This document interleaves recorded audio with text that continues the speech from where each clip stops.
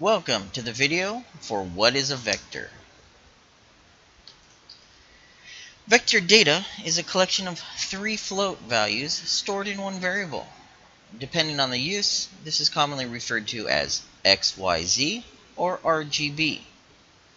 If you're looking to store a 3D representation of something, then a vector is normally what you're looking for.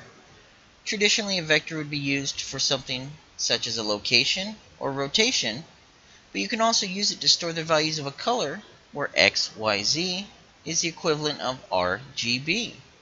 You'll find that that is common in the material editor when working with colors. As you can see on the top green line, 100.0, 100.0, and 200.0 is a perfectly valid float, whereas 1.0, 1.0, and 1.0 is another valid float and would probably be used for something such as storing the RGB value of white.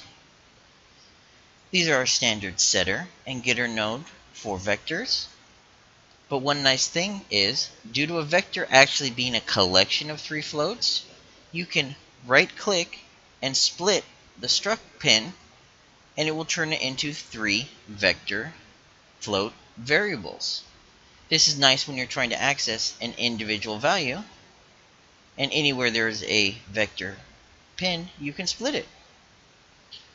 It can be handy, for example, if you are trying to do a line trace to find something that is approximately 100 units in front of the character.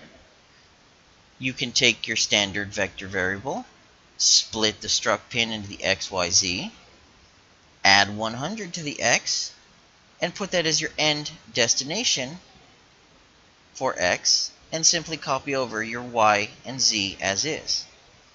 It also lets you use your original vector variable for the start and you now can tell what is approximately 100 units in the x direction by doing a line trace, splitting your vector.